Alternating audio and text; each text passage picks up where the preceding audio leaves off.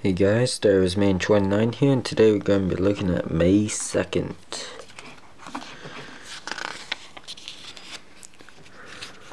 Uh, so we are in episode 3 here, near the end, on that, uh, I think it was an asteroid called Polis Massa, and it's basically the hospital where Padme gave birth to Luke and Leia.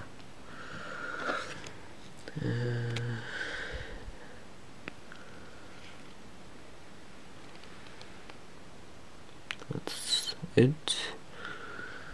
And this caption says Obi-Wan took the dying Padme to the remote asteroid of Polis Massa where she gave birth to twins Luke and Leia.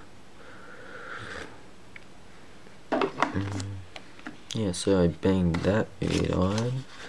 I actually did not look at that before. So, yeah.